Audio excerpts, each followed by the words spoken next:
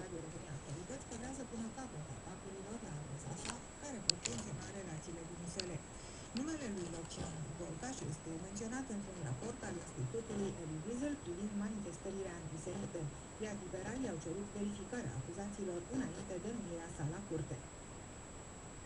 Premierul Victor Ponta a anunțat că va trimite în această seară președintelui Traian Băsescu propunerea de numire a lui Gigel Știrbu în funcția de ministru al culturii. Șeful executivului a precizat că a avut deja o discuție cu acesta înainte de a